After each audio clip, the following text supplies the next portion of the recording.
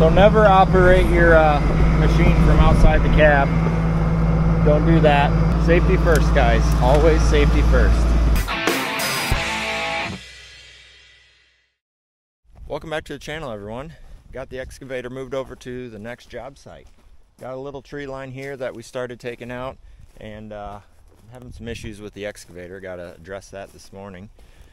But uh, we got a small tree line here. There's some big cottonwoods, like uh, that guy right there. I'm not going to worry about taking those out, but what I'm doing is taking these little hedge trees out in the middle.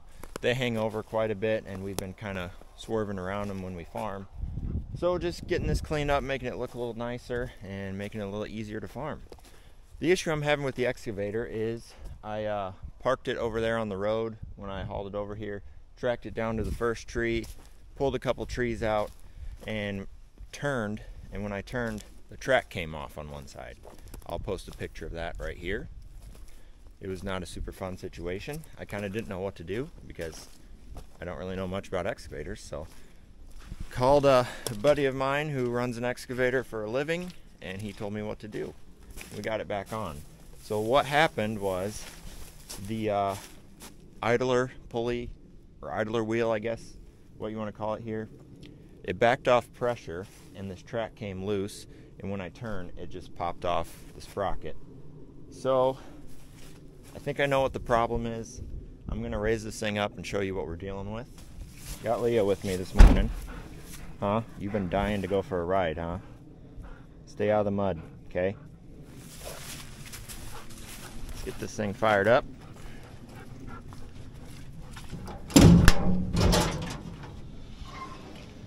Check the oil first. Haven't done that for a couple days. Still looks good.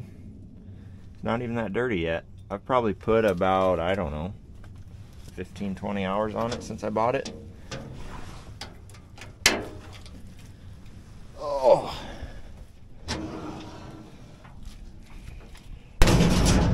Had a uh, fun experience last time, or last week when I was running this. This a little bolt fell off this latch, so I couldn't open it. So I had to crawl in behind the cab in there through to get that open from the inside. That was fun. Anyways, fire this bad boy up. Oh, keys in my pocket.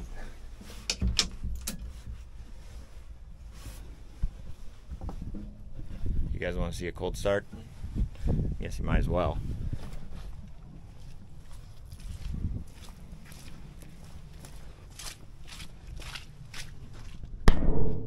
Not as cold today, but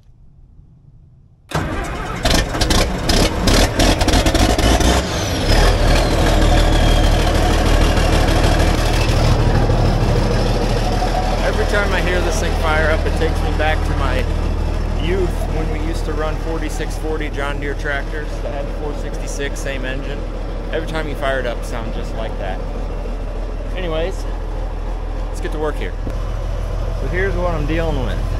See how there's a lot of uh, room between the track and the rollers? That's too much. I looked in the manual and it's supposed to be 10 and 3 quarters inches from the pad to the roller surface up to 12 and a quarter and this is way more than that. I had it in spec yesterday but it backed off. So if you look in here I guess I'll tell you how this works. There's a hydraulic cylinder in here inside of here that you fill up with grease and it pushes this idler wheel out. That way you can tension your tracks. This is where you fill it up with grease and it looks like we're le leaking grease around the grease fitting. So what happened is that had a straight fitting on it and it was up and down. I couldn't get my grease gun on it. So I changed it to a 90 and I don't think I got the 90 tight. So we had a different issue yesterday.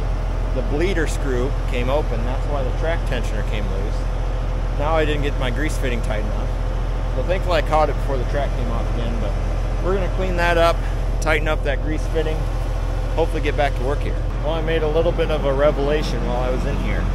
There's actually three grease zerks on that, if you can see.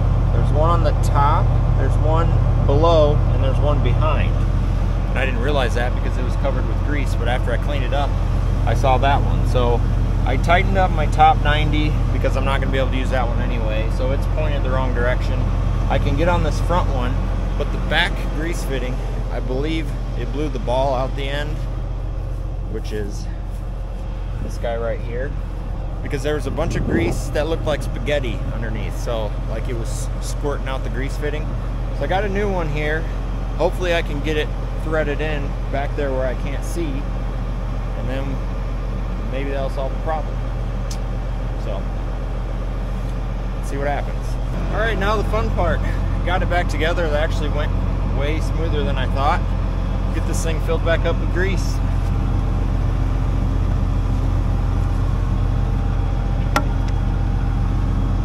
might need both hands here.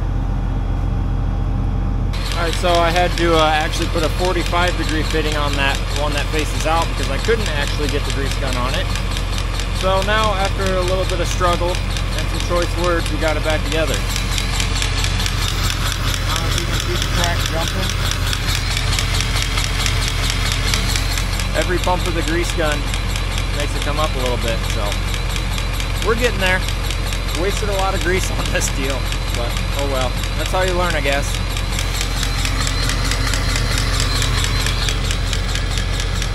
I got it all back together, but now my issue is I, I bought cheap Harbor Freight grease fittings, and uh, the 90 and the 45 are leaking out because they're a two-piece design. So it's not leaking terribly. I think I can make it through the day. I think I'm just gonna have to get some good, maybe Parker brand or something, grease fittings, and change them out when I get those. I'm gonna let this uh, cab warm up a little bit, take Leah home. Leah, I thought I told you to stay out of the mud. What the heck? All right, let's bring you home.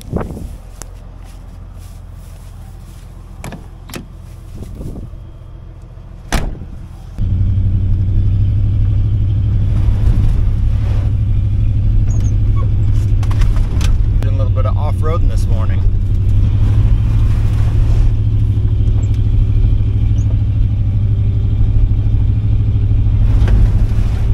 Brought Leah back, out here.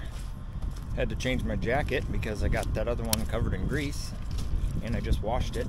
That was literally the first time I wore it after I washed it. Go figure. Gonna get to work here. Got a few trees left. I'm hoping I can knock this job out today. Uh, just from here down to the excavator. Not a whole lot left as far as these little hedge trees. I wish I was more experienced because I would definitely try to take these cottonwoods out, but man, they are big. I don't even want to try. They're not actually a problem. There's a couple of them, like this one hangs over a little bit, we can deal with that. Another issue I'm having with this thing is these pins that I put in when I put these teeth on, they're breaking um, where's one? I think this one's broke. So this bucket's pretty worn, so these teeth wiggle around and it'll actually snap the edge off. See this one, I need to drive that one back in. Yeah, I need to just switch these over to a grade 8 bolt. I think that'll solve the problem. But for now, I guess, grab my hammer. The issue is, if I was just digging dirt all day, it would be fine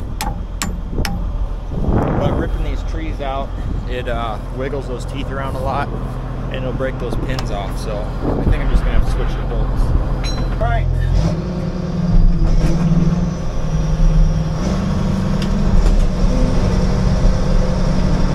Just gonna have to keep an eye on that track throughout the day, make sure it doesn't come loose. Like I said, I'm gonna buy some uh, better fittings, I think. I might actually just have to put straight fittings that way there's less to go wrong and then I can uh, get an adapter to grease it. So that might be what I have to do.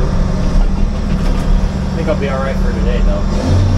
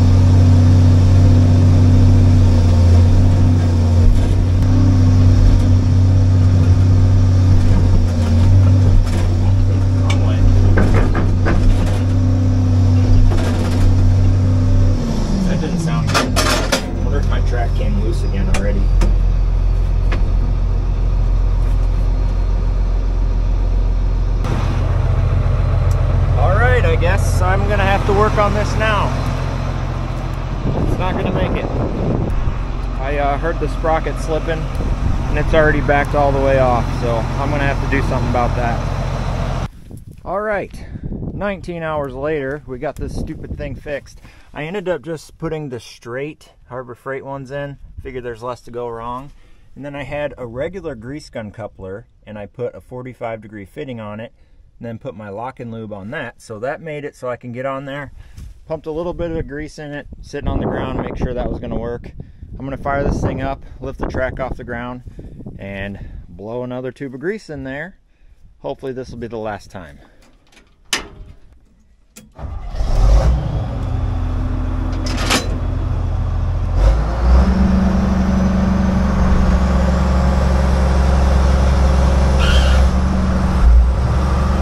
Don't hit the truck. Perfect.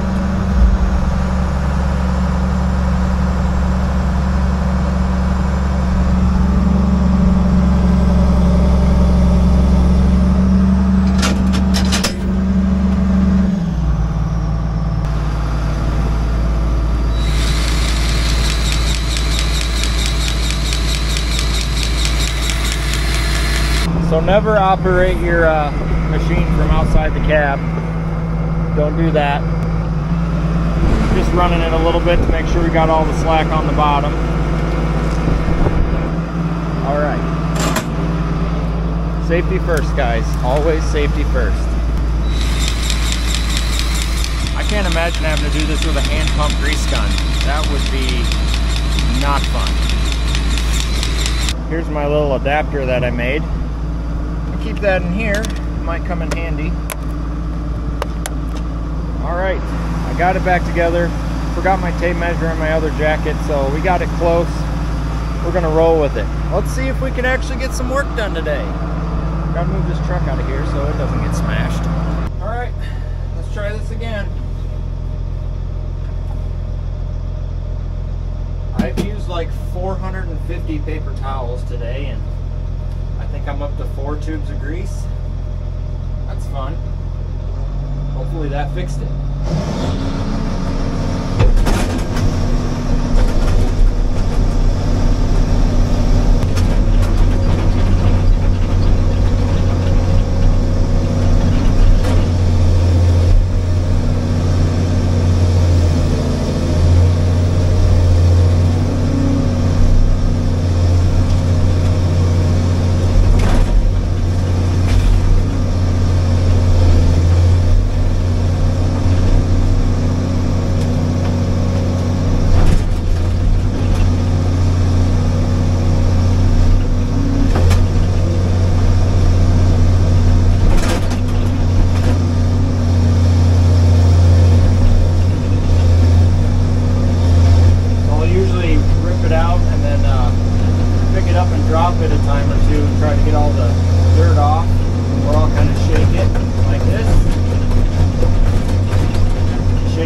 Twice, you're playing with it. I guess that's that's what I'm told anyway. And then drag it over to the pile. Oh, other way.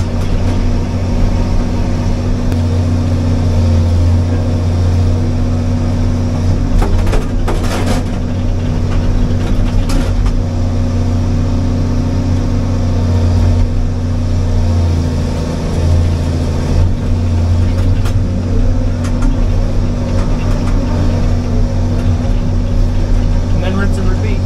So here's probably one of the bigger trees on this job.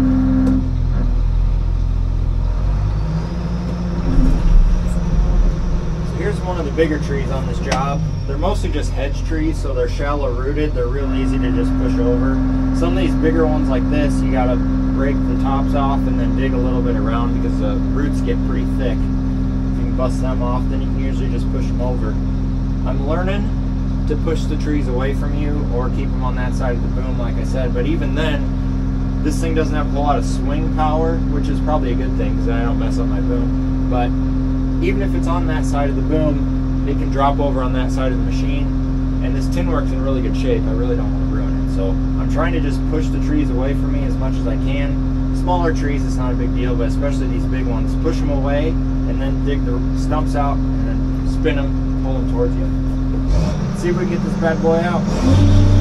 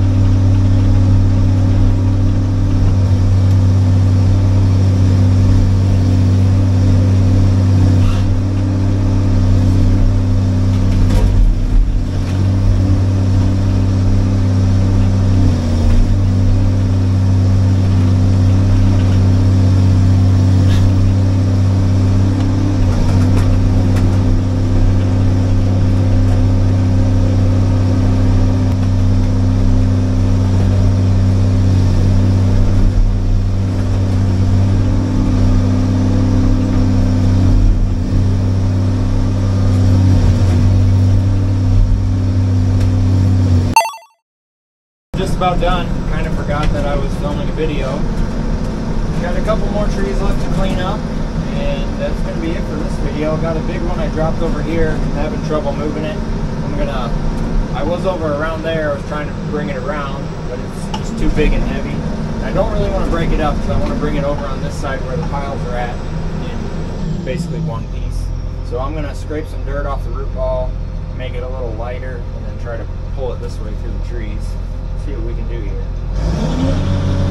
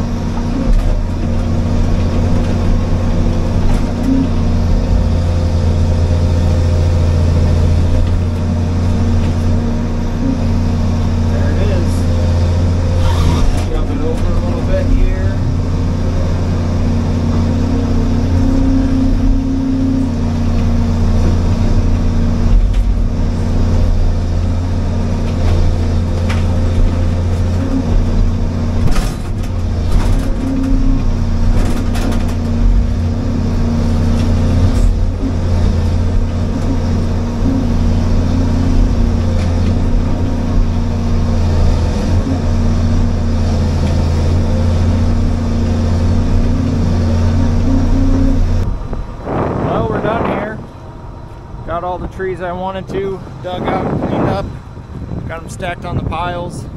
My piles aren't super neat like the professional guys, but they'll get the job done. I'm gonna have to come down here with the uh, tractor, the loader tractor and the grapple bucket and pick up like the small stuff here. Without a thumb, I just, it's like a cat, just like when your cat knocks a glass off the table, that's what I feel like. I just can't pick up the small stuff. The big trees aren't a big problem. I can get them easy, but this looks so much better now that we just got these few cottonwoods. If you uh, look down, I don't know if you can see my strips down there, but they uh, are a little bit past the cottonwood, so we'll have to swerve out a little bit, but at least we won't have to deal with branches dragging on. Yeah, another job done. Basically took me about two days. First day I dug one tree out and the track popped off, so that day doesn't really count. Yeah, I'm happy. I've been wanting to get this done for a long time. Didn't want to pay somebody to do it just because it's one of those things, money can be spent elsewhere. Now that I got the machine to do it myself, it makes it more doable and a lot more fun to be honest. So that's gonna do it for this video. Let this machine cool off, shut it down, and figure out what I want to do for my next project. Thanks for watching. We'll see you on the next one.